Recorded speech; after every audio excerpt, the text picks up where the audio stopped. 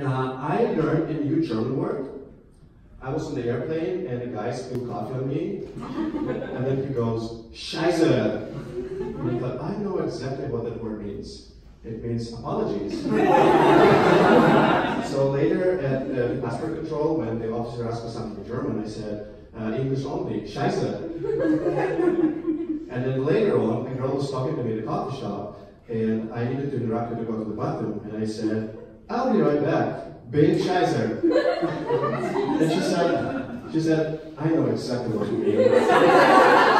Go take your time. and I said, yes, so important to know the right words.